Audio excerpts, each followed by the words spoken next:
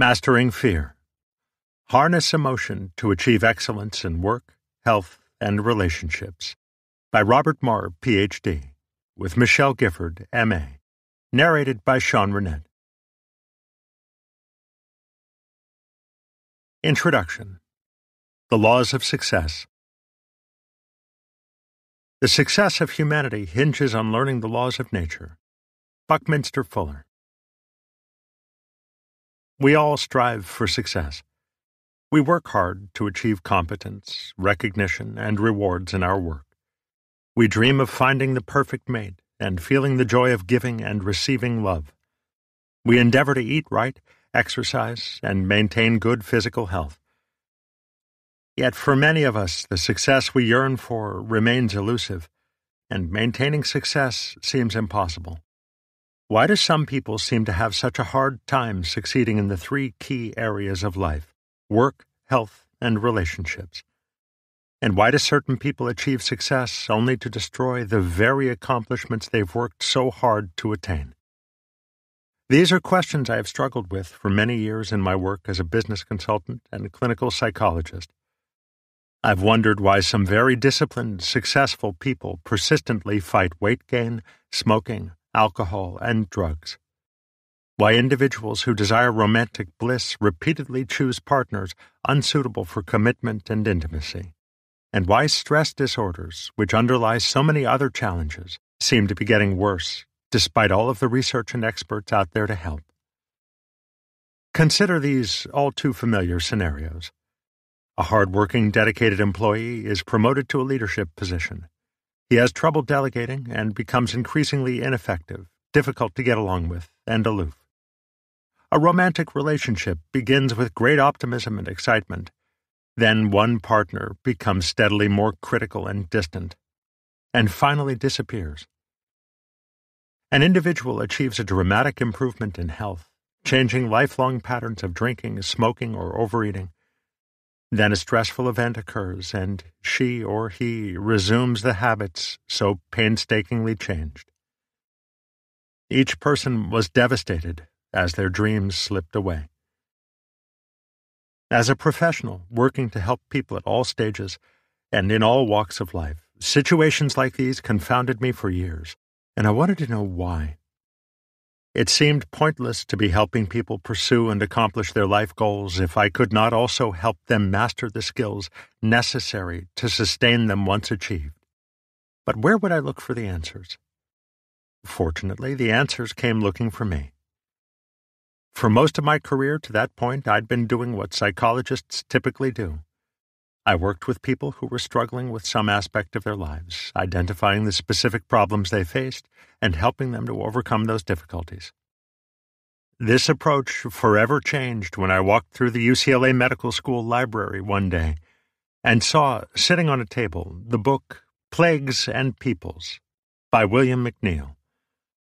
The cover intrigued me, so I sat down and began to read.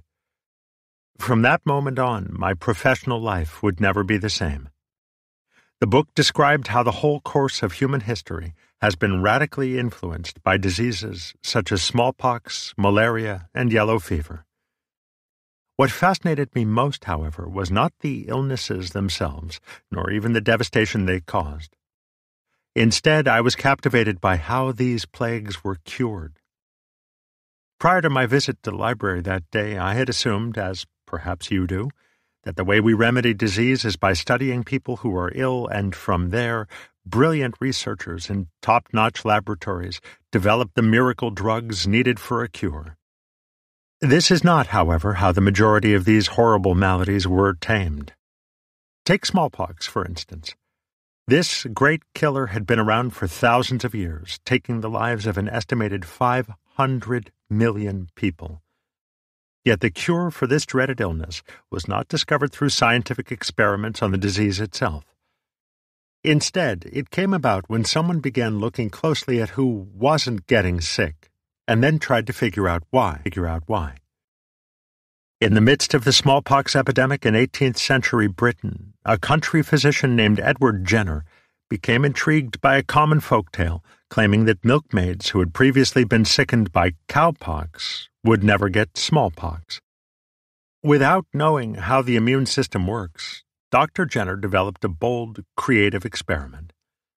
He injected an eight year old boy first with the cowpox virus, then with a very small dose of smallpox. The boy developed resistance to the deadly disease, and the use of this vaccination was thought to have saved more lives than any other invention in history. Studying those who have stayed healthy in the presence of grave illness and discovering what was different about them has pointed the way to success in curing other diseases as well. Building the Panama Canal was perilous work, primarily due to the mosquito borne infectious disease, malaria. Many lives were spared, however, when an inquisitive physician by the name of Dr. William Crawford Gorgas began asking himself why the sailors aboard ships never became ill, whereas the people digging on land were so tragically susceptible. The difference, he cleverly surmised, was that the mosquitoes were drawn to the still water near the canal, whereas the sailors were steadily surrounded by ocean currents. Preventing this illness, he discovered, could be achieved by replicating the environment of those who stayed well. As I read these accounts, I began to reflect on my own profession. Historically, the field of psychology had focused primarily on seeking accurate diagnoses labels for people's problems, then designing effective treatments from there. After reading Plagues and Peoples, I began to believe that more significant breakthroughs could be made not by observing those courageously struggling, but by looking at those who were succeeding and discovering what they were doing differently. I concluded that if psychology was to be most useful, our work should be focused on determining how successful people thrive. We should be replicating the conditions of those who are well. With these thoughts in mind, I began searching worldwide for studies attempting to identify the laws of success, those skills necessary for people to succeed in all key areas of life work, health, and relationships. Although I found many published books on success, I was discouraged to find that a vast majority focused on only one aspect of life career success, or relationship success, or physical well being. However, as I persisted in my research, I discovered many long term studies that had followed large groups of people for years that attempted to discover what circumstances and skills are necessary to overcome adversity and sustain excellence across time. Among these investigations were the Kauai Longitudinal Study, the Terman Study of the Gifted, the Harvard Grant Study, and the Study of Adult Development, Glueck Study. There is, of course, no straight line to success, and no one can achieve and hold on to success without some setbacks along the way. However, each of these investigations contributed meaningful insights regarding the fundamental principles or the laws of success.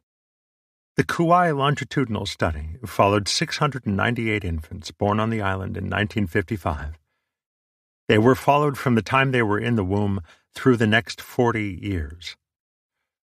The Hawaiian Islands are a researcher's paradise, as many inhabitants live on the same island and utilize the same limited social, health, and educational resources throughout their lifetime, which makes tracking information across time relatively easy. As the study progressed, the principal investigator, Dr. Emmy Werner, began to take a special interest in a particular subset of this population these were high risk children who, despite exposure to stress during pregnancy, premature birth, discordant and impoverished home lives, and uneducated alcoholic and or mentally disturbed parents, went on to develop healthy personalities, stable careers, and strong interpersonal relationships. One out of three of these high risk children grew into competent young adults who loved well, worked well, and played well. None developed serious learning or behavioral problems in childhood or adolescence. Dr. Werner and her team studied this group to identify the protective factors that contributed to the resilience of these children. The Terman study of the gifted followed 1,528 children in California schools who were labeled gifted both by teachers and as a result of intelligence tests.